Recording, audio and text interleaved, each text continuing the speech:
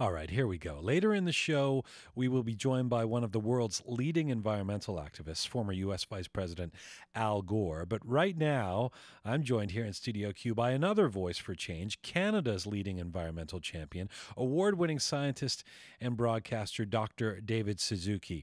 Recently, David Suzuki traveled to Stockholm, Sweden to receive the Right Livelihood Award, also known as the Alternative Nobel Prize. It's an international award that, quote, honors and supports those offering practical and exemplary answers to the most urgent challenges facing us today. This will be proof that David Suzuki's environmental efforts have had an impact not only on Canadians, but people all over the world. It's the latest honor in a distinguished career that's been defined by David Suzuki's interest in how we relate to the natural world around us. He recently celebrated his 30th anniversary of hosting Canada's longest running TV documentary series, The Nature of Things. He's also a prolific author and the founder of the David Suzuki Foundation, an influential and occasionally controversial, a nonprofit organization dedicated to conservation issues. I'm pleased to have David Suzuki with me now, live in Studio Q. Hello, sir. Hello. Wow, that was a long intro. Thank you. too very long, much. right? Yes, They're very getting much too long. Much, too, long. well, well, but I you see we have to say these things about someone like who's done as much as you have. I can't just rush into this. Right? Well, you know, I like to tell the story that there are dozens and dozens of people that work at the nature of things that work in my foundation, and they work their tails off, and I get all the credit for the work they do. you know, one of the great lessons I learned was from Jim Murray, my the old friend and, and executive producer of the nature of things. We were filming in New Orleans, and this is oh.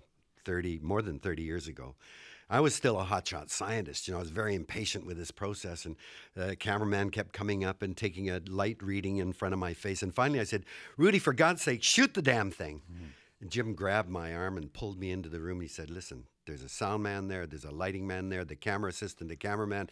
They're all working their butts off to make you look good and that's not easy and I kind of slunk back in, realizing, you know, it's true. right, right, Nobody says, "Hey, that show. Listen to the sound on that. It was great." They all say it's Suzuki. true. It's you true, know? and it's definitely true of this show too. There's an incredible team behind it. Having said that, you're the one receiving this award, and let me just uh, to quote the Right Livelihood Award. This prize, uh, this prize has been gi- given to you for, and I'm quoting, lifetime advocacy of the socially responsible use of science, and for your massive contribution to raising awareness about the perils of climate change and building public support policies to address it. On a personal level, David, what does an honor like this mean to you?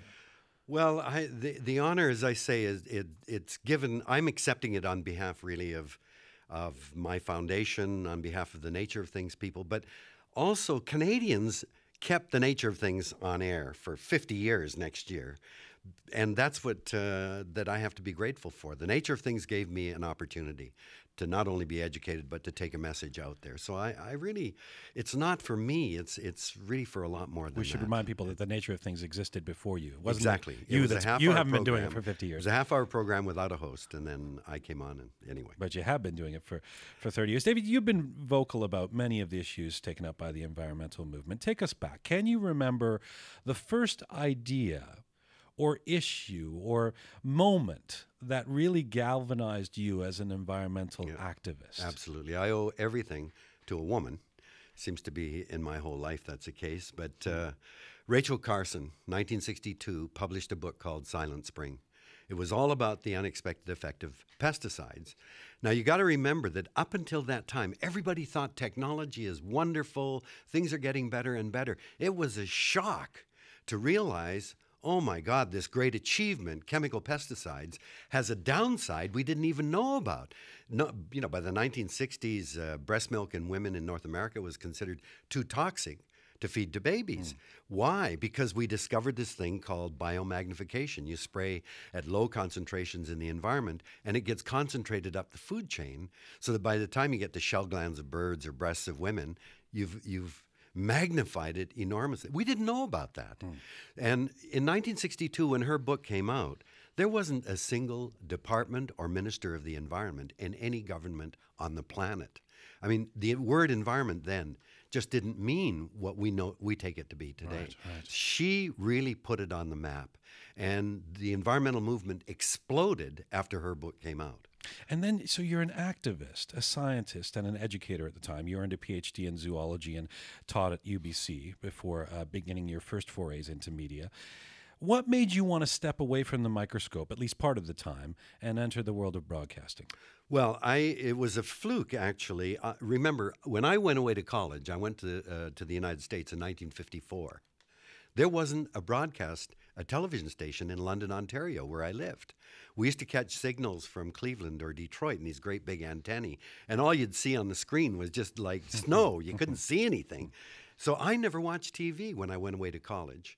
Uh, when I once I was in school, I was too busy, and then grad school. First television set I ever owned was in 1962 when I was a professor at the University of Alberta. And suddenly I realized, holy cow, you know, people watch this all the time. And the university had a program called Your University Speaks, a very serious program. Mm-hmm. And they asked me if I would give do one of the programs. I did one and they loved it. And I ended up doing eight. So that, to me, in 1962 was the beginning of that television career. And how much of that television career or that foray into media, because you did radio too, of course, yeah. you're the host of uh, Quirks and Quarks. How much of that was about a platform for environmental issues and, and your activism? Not at all when I started in, in the beginning. At that time, I had just come back from living in the United States for eight years. Come back to the university, apply for a grant. They say, we're, gi- we're giving you a bigger grant than most people get at your stage, 4200 bucks. This is at a time when my gr- fellow grad students in the states were getting sixty to eighty thousand dollar grants. NRC in Canada gave me forty two hundred, and uh, I started looking for jobs back in the states. And to my amazement, what happened is the Americans gave me a big grant that I could keep in Canada. So mm. I stayed in Canada because I got an American grant. But the, the, the point is, I was stunned at how scientifically illiterate Canadians were. They had no idea what was going on in genetics and in many other areas. Right. And I felt that I, I, from purely selfish, selfish reasons, I said, Canadians better know how important science is so that I'll get a bigger grant and so my early forays into television were really to try to educate Canadians about why science was important. But thanks to Rachel Carson, there was a, a, second side to the impact of science and technology that you had to deal with. Which raises an interesting, uh, I don't want to say paradox, but tension for for David Suzuki over the years, I would imagine. Because, uh, first, a scientist, I think impartial, and that's almost how you would need to govern yourself as mm. a as a scientist.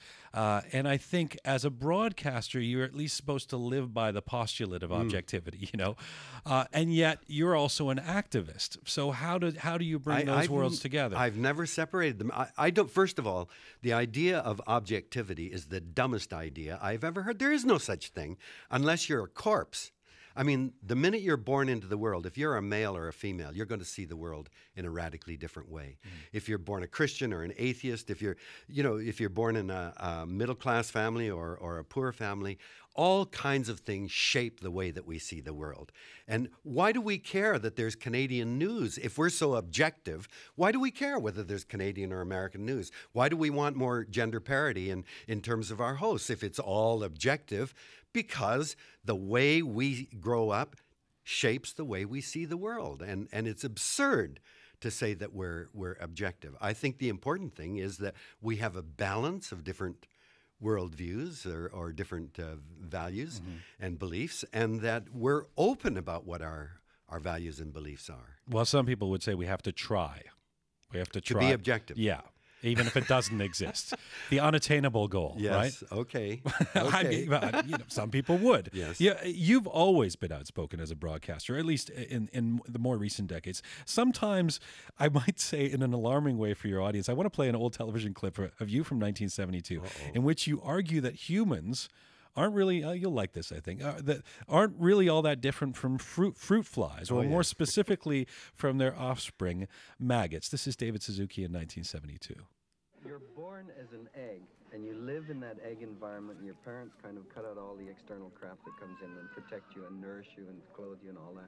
It's a very nice little egg, and it's comfortable. But at some point, you hatch out and start crawling around and eating stuff on your own. You start reading, you start looking at the tube, you start doing all sorts of things. You hatch out as a maggot. and a maggot, a maggot can now crawl around. It's got two dimensions, and it can ingest food at its will, and it defecates all over the environment. And some other smaller maggots can even eat your defecation and get some nourishment out of it. There you go. That's David Suzuki from 1972 uh, comparing humans and, and, and maggots. Well, but the point is that if you get the right case, you pupate and emerge as a butterfly. ah, we, we cut that part off. I was going to say that's not the most it's not the most optimistic view of our species.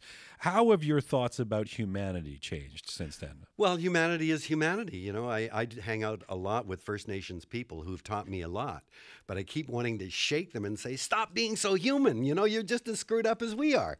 And uh, we're just people, you know, and the idea that we're somehow advancing, uh, well, we advance in certain areas, I guess. My parents' generation, it was inconceivable for a Japanese to, to go out with a white person and get married. My children, on the other hand, they're all married to non non uh, Asian people, and they they don't think anything of it. There's been a lot of change, but I don't doubt that if uh, condition, I mean, just look at what we're responding to in terms of the Muslim community. We haven't advanced very much when you scratch the surface. So it's a constant struggle. And I think what defines us as something worthwhile is that we try. We just keep trying, working, and trying to make a better place. Let me stick with broadcasting for a second. You're, you're currently celebrating this 30th year as the host of Nature of Things. There are many more science and animal programs on TV these days, as you know, but they often seem to have a mandate to entertain. Are you okay with the direction of the popular science uh, and the way it, it has gone, or do you think it slid too far into the realm of cute little meerkats and crazy inventions? Well, I worry about that a lot. And science itself is often depicted as, wow, what will they think of next? You know, and we become magicians that, whoa, look at what the- we can do now. And so much of it is based on early studies and, and potential. They, they don't really come to fruition. And I think, I don't think that we dig deep enough. What Rachel Carson did for me was to say, you scientists, as I read her book, it was a very personal read to me. You scientists, you're very clever. You can make a thing like DDT, show it kills insects. But you forget that the lab is not the real world. In the lab, you grow stuff in a chamber, growth chamber or a Florence flask. Hmm. In the real world, things interact. The wind blows, the sun shines, it snows, all kinds of things happen. And what you think you're, you're replicating the world in the lab, you're not. It's an artifact. So be very, very careful when you try to extrapolate from what you're doing in the lab to the real world. That was her message to me. It's not that science is terrible or that it's dangerous. It is if it's applied the wrong way. It's just that we have to be very careful in the way we extrapolate from what we do now to the real world out there. And, and given what you the the eloquent uh, uh, defense of lack of objectivity that you made uh, uh, earlier, do you d- would you like to see more environmental awareness or urgency being expressed in nature shows? I'm thinking of Discovery Channel fare. Yes, well, I, you know, I talked to David Attenborough about this. David Attenborough and, and the BBC do the greatest natural history films in the world. I mean, they set the standard. And yet, you know, when you look at these magnificent series that he's done, Life on Earth and, and uh, uh, The Blue Planet, and he's just done one magnificent series after another. And yet, you know damn well, many of the incredible animals he's showing are probably extinct or near extinct by the time the shows run. Hmm. And yet there, you don't see any sense in the programs he does where he comes on and says, "Look, I'm David Attenborough. I've seen this the wonders of nature and we're trashing it. No, it's just, "Oh, isn't nature wonderful?" And he's always said, "Well, I think you have to make people fall in love with nature and then they'll they'll protect it." It's but that's too slow. And I think that he, sooner or later they have to come out and start saying, yes, these shots may be the last we'll ever get of these species because they're going extinct. Uh, he claims that the minute they start doing an environmental program, that audience uh, audiences drop.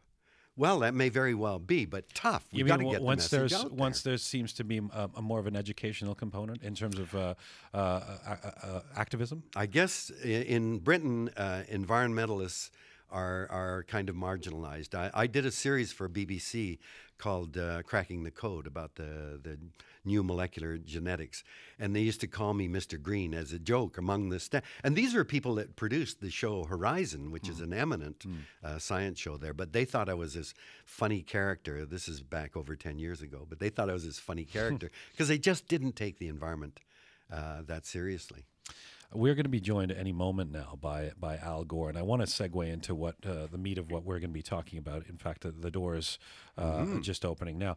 Uh, obviously, these days, one of the most pressing environmental issues is climate change. It's an incredibly complex and at times it can be a divisive issue, and one that you've been talking about uh, for more than 20 years, well before the idea uh, became uh, popularized. At what point did you decide?